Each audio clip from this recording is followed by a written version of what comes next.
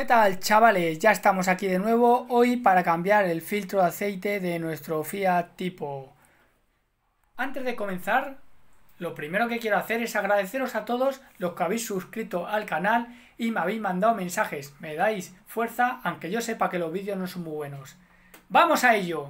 Vamos a ver lo que necesitamos. Primero, el recambio del filtro de aceite. Luego, necesitamos una llave de vaso del 27 con esto y una herramienta para quitar una abrazadera del tubo de admisión que va a la EGR tenemos suficiente. Muy sencillo. Vamos a ver dónde está situado el filtro de aceite. Lo tenemos a la derecha el filtro del aire y a la izquierda de la EGR, debajo del tubo de la admisión del aire que va a la EGR. Ahí os lo enseño, se ve muy bien y es de fácil acceso. Lo único que tenemos que desmontar, o que desmonto yo, es el tubo del aire que va la EGR. Primero vamos a aflojar la brida del tubo de aire. La aflojamos y la vamos a, a desmontar tirando hacia afuera, hacia la izquierda. Y dejamos el tubo quitado. Entonces ya podemos acceder fácilmente a la carcasa del filtro del aceite, como veis. Ahí lo tenemos.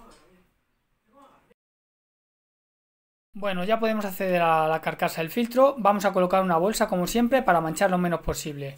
Y ahora vamos a poner la llave de vaso del 27 y giraremos hacia la izquierda.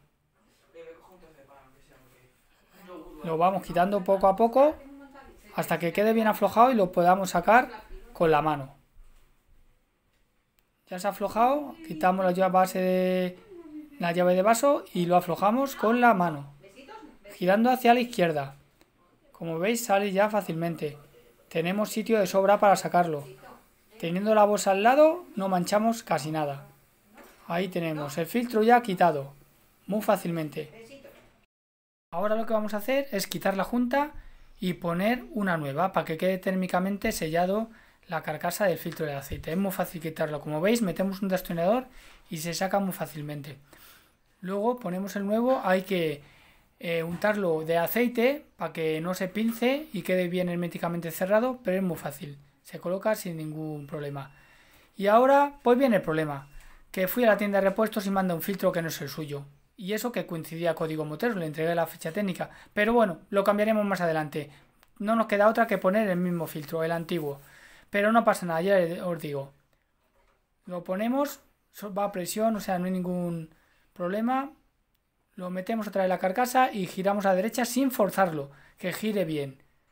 Vamos girando hasta que ya no podamos más y entonces meteremos la llave de vaso. Y giramos a derechas, quede bien cerrado.